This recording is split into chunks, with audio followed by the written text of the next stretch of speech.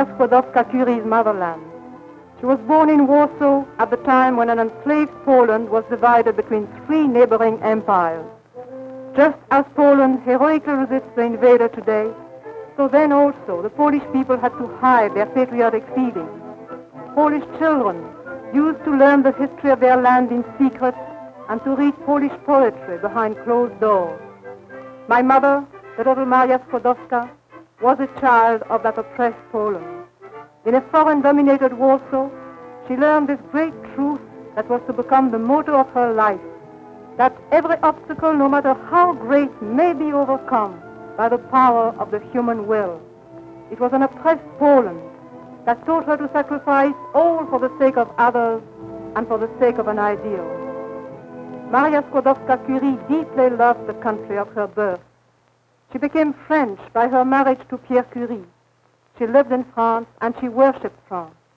Yet, till her last day, she remained faithful in her heart to the memory of the Polish countryside and of the noble life of her Polish parents.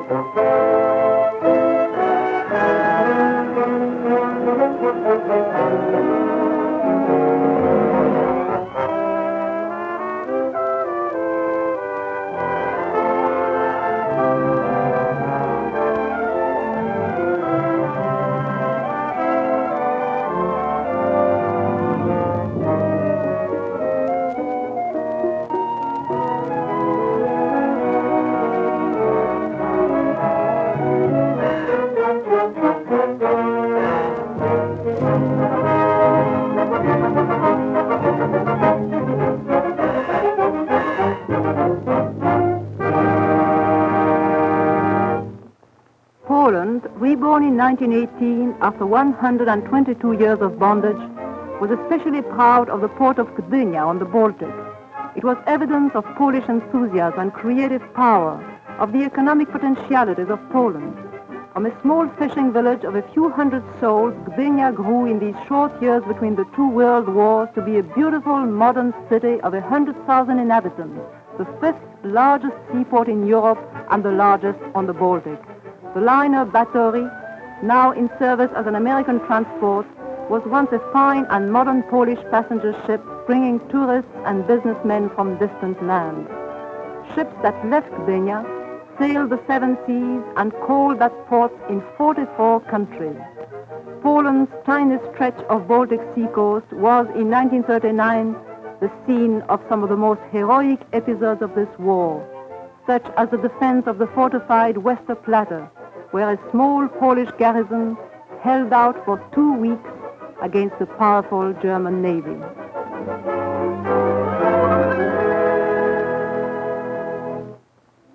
Historically, Poland grew around the basin of the Vistula River. Of the Vistula, that Marie Skłodowska-Curie called My River, this is what she wrote. There is a Krakow song in which they sing, this Polish water has within itself such a charm that those who are taken by it will love it even unto the grave. Here for centuries, the Poles time and again had stopped the Germans in their age-old drive to the east. That is why so many fortresses and strongholds were built there. In their shadow are many historic landmarks, cities and cathedrals. The town hall of Świecie dates back 800 years. The Pelplin Cathedral was built in the 15th century and is 600 years old.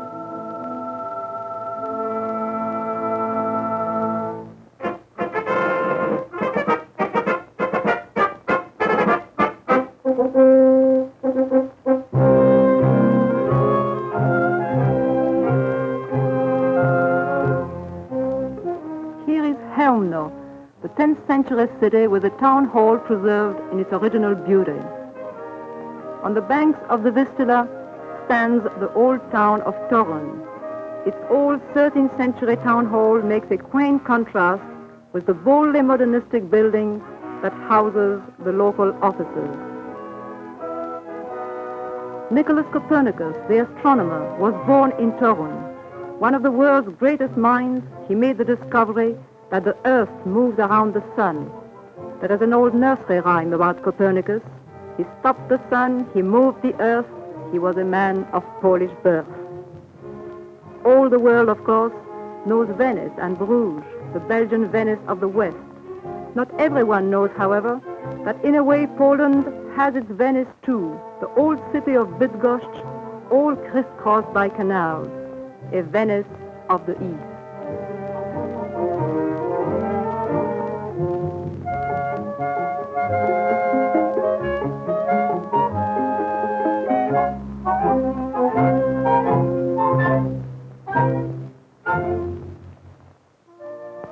2,000 years old construction at Biskupin is seen here, proving the Slavonic origin of this land.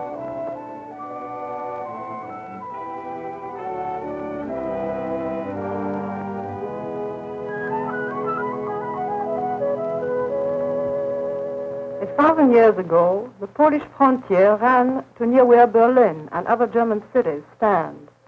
In those days, the Germans kept up constant attacks upon the neighboring Slavs. But the Polish king, Bolesław Chrobry, or the Brave, was dreaded by the powerful German emperors.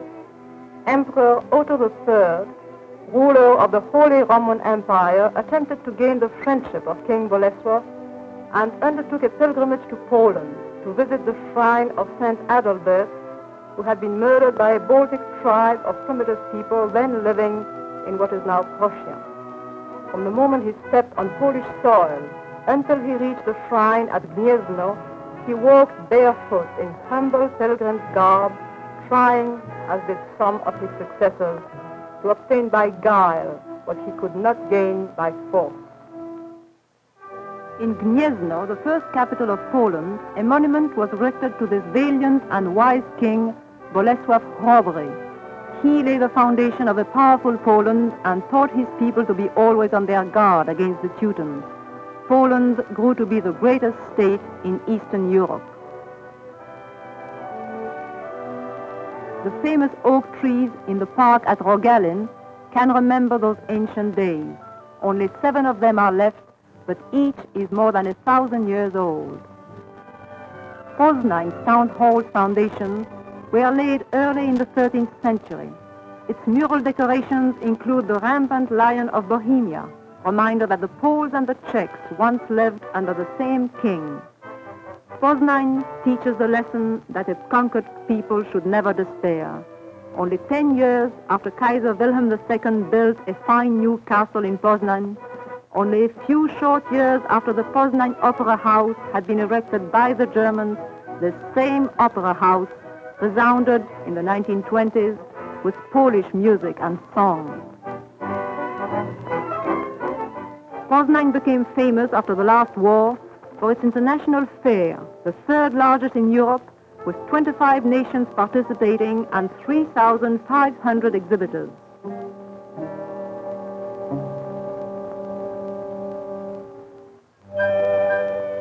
Poznań has a Woodrow Wilson Park and a monument to President Wilson given to the city by Ignacy Paderewski, the great Polish artist. The German invaders were to wreck it savagely in 1939.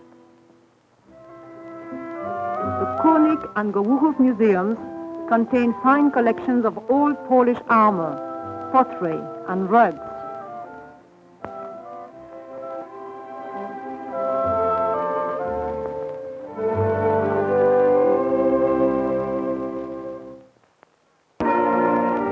The shrine of Our Lady of Częstochowa is a place of pilgrimages for all Poland and may be called her religious capital. A pope once bestowed upon Our Lady of Częstochowa the title of Queen of the Polish Crown.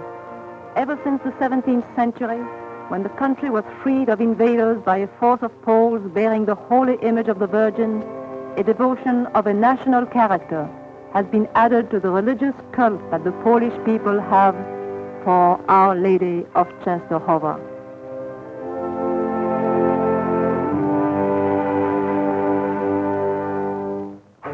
Upper Silesia is extremely rich in natural resources such as zinc ore and coal. Three quarters of all Polish coal is mined here. For a long time in history, this part of Poland has been under the German yoke. No wonder if its people put all their strength, born of bitterness and hatred, into its defense during the present war. One of the most tragic episodes of the 1939 campaign was the slaughter by the Germans of all the Boy Scouts in Katowice, capital of Upper Silesia.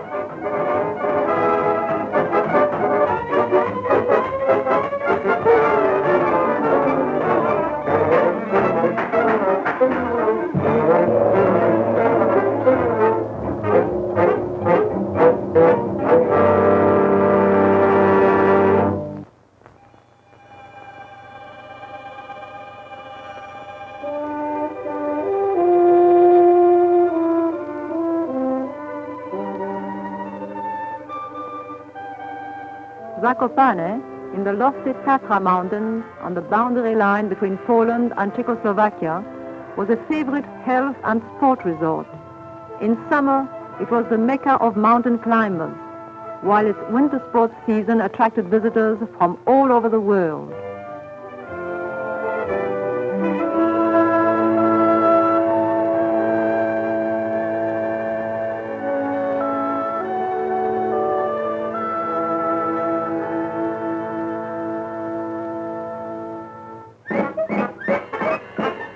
Years ago, the World Ski Championships took place in Zakopane.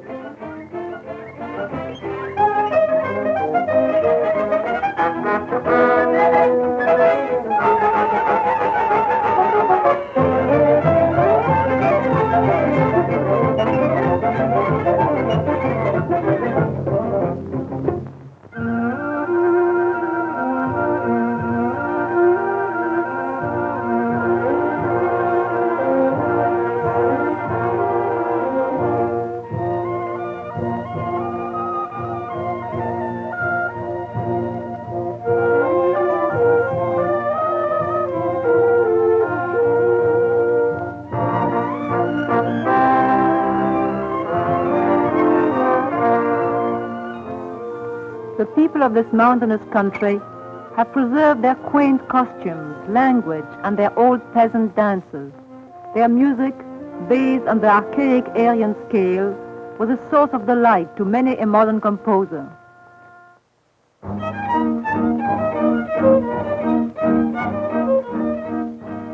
To the Poles, Zakopane was much more than a health resort.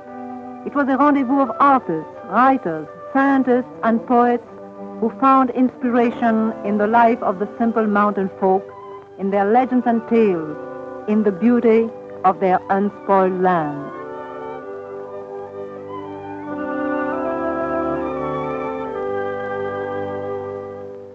The Polish soldiers who in 1940 fought in France and helped to defend Norway, those who held at Tobruk and attacked at El Ghazala, the Polish airmen who played such a gallant part in the Battle of Britain, and the Polish infantry standing guard along the Scottish coast, all those patriots had many predecessors in the history of their country.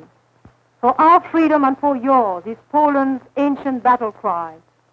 Even when their own country no longer existed on the map, Polish soldiers were always ready to fight for a great cause. Poles fought for freedom in the United States, in Italy, in Hungary, in Belgium, the Argentine, Brazil, Peru, and Bolivia. Many centuries ago, the rulers of Poland had already given guarantees of personal and political liberty to their people. One of the outstanding dates in Poland's history is the year 1430, when a Bill of Rights in the form of the Neminem Captivabimus Act was written. More than 200 years before the English Habeas Corpus Act, this law guaranteed personal liberty to all and forbade arrest without warrant or punishment without proven guilt. Krakow, capital of Poland from the 14th to the 17th century, is rich in architectural treasures of that period. One of the most beautiful Gothic structures is the Cloth Hall. We might call it the first department store in the world. It was built even earlier than the cloth hall of Ypres. In Krakow, we also find the second oldest university in Central Europe.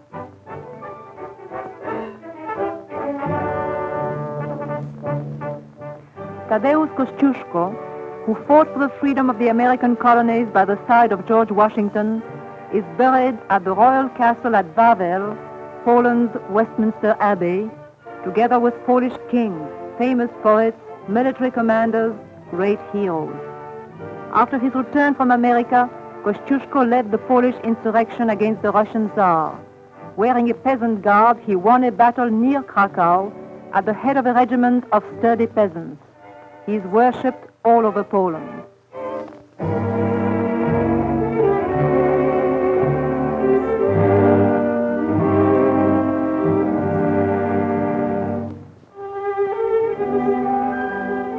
Far from Krakow, in the picturesque foothills of the mountains, many health and summer resorts were built at Żegiestów and Krynica. In peacetime, the latter was an internationally known spa.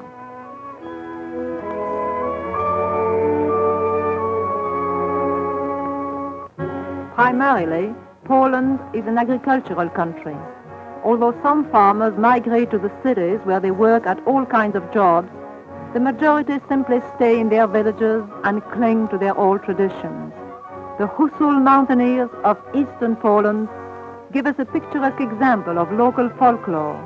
They are famous for the originality of their peasant art in ceramics and textiles.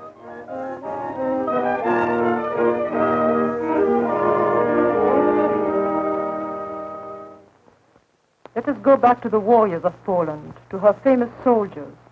In 1683, when the Turks were besieging Vienna, when things looked hopeless, the Austrian Emperor Leopold II and Pope Innocent XI sent messages to the Polish king Jan Sobieski, begging him to come to their rescue. The king arrived at the head of his army and completely routed the Turks. In memory of this great victory, one of the stars constellations is called Sobieski's shield. Later on, Turkey and Poland concluded a pact of lasting friendship, and Turkey was the only country which did not recognize the partitions of Poland. For more than a hundred years, an empty seat was kept at the Sultan's court at all official festivities and diplomatic receptions for the temporary absent Polish ambassador. To King Jan Sobieski, the Poles erected a monument in the city of Lwów, the southern bastion of Polish culture. As is often the case with frontier cities, its inhabitants are the most ardent and devoted patriots. When in 1919 Lwów was in danger of being torn away from Poland, even women and children took up arms to save the town. Some of these eaglets, as the people called them, lie in the cemetery together with American airmen of the famous Kościuszko squadron who had come over to help save the town of Lwów for Poland. The grateful inhabitants erected a monument to their memory.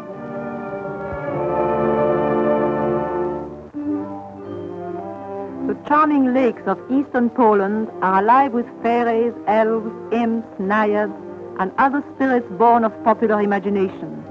Polish poets, many of whom were born in this part of the country, freely from these tales and legends.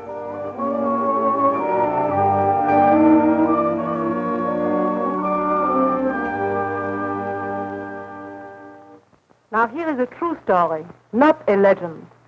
600 years ago, a young and lovely girl silenced her love for a handsome prince in order to marry a foreign old man. She was sacrificing her love for her country. The young girl was a Polish queen of French and Hungarian descent by the name of Jadwiga. She married Władysław Jagiełło, ruler of the pagan Lithuanians, so as to bring Poland and Lithuania together. As a result of this marriage, Jagiełło and his subjects embraced Christianity. Very soon, in 1410, the joint armies of Poland and Lithuania defeated the Teutonic Knights of the Cross in the famous Battle of Grunwald.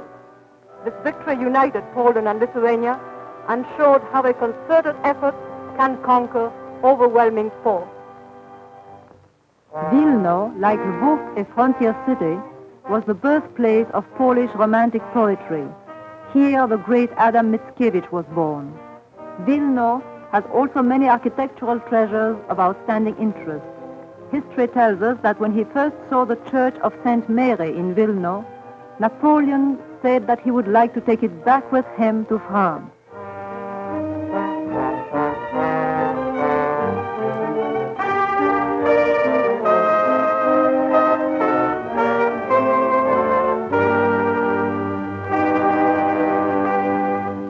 The holy picture of Our Lady of Ostra Brama is worshipped here as is the shrine of Our Lady of Częstochowa in western Poland.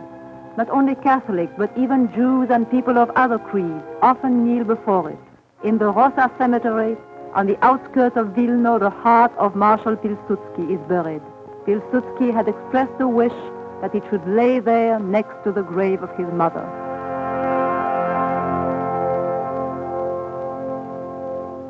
Here we see a famous stud of Arab horses in Janów.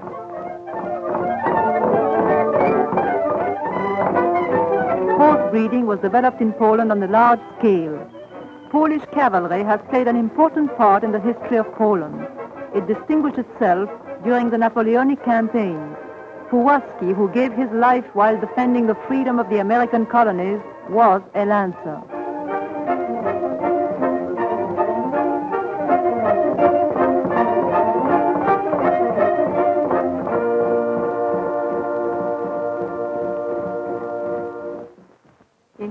1569, an impressive ceremony known as the Union of Lublin further strengthened the ties between Poland and Lithuania.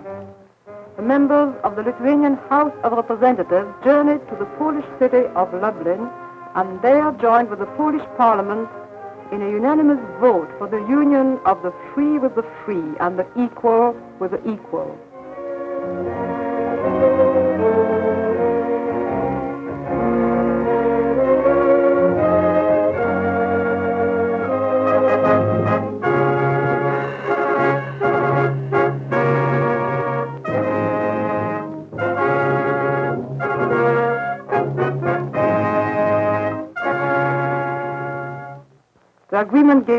Countries equal rights.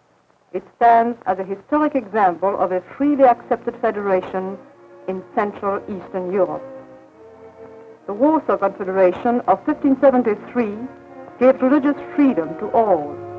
The Constitution of the 3rd of May 1791 was one of the first constitutions in Eastern Europe which took into account the will of the people. In 1794, under the leadership of Kiliński, a cobbler, the inhabitants of Warsaw rebelled against Russian oppression. Warsaw has been Poland's capital from the 17th century on. Its name is closely interwoven with Polish history. For more than 20 years after the last war, Warsaw was the seat of the Polish government and of the parliament. Here in September 1939, the heroic Poles defended their city for three dramatic weeks. They only surrendered after all water, food, and ammunition were spent.